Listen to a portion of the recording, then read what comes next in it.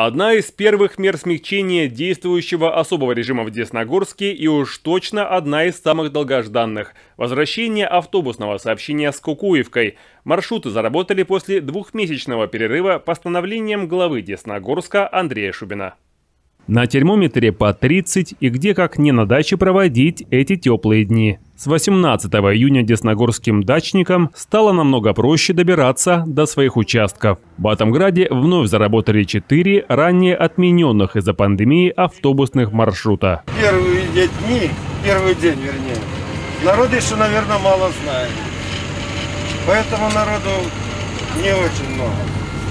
Возобновление автобусного сообщения из Десногорска до товариществ «Строитель», «Николаевская», «Надежда» и до профилактория – это первый этап ослабления еще пока действующих особых эпидемиологических мер. С одной стороны, это правильно, но надо было чуть раньше, наверное. Если соблюдать все меры безопасности, то можно было раньше, конечно, запустить их.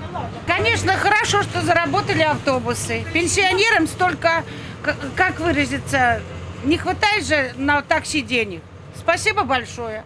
Нахождение в салоне, соблюдение мер личной безопасности. Это условие действует до 22 июня. Тогда же отменят особый режим. А пока же при наличии уже привычных маски и перчаток двери автобуса всегда открыты. Автобусы по муниципальным маршрутам ходят по летнему расписанию. Летнее расписание размещено на остановочных пунктах, размещено в здании автовокзала и также комитетом по городскому хозяйству дополнительно будет размещено на сайте администрации города.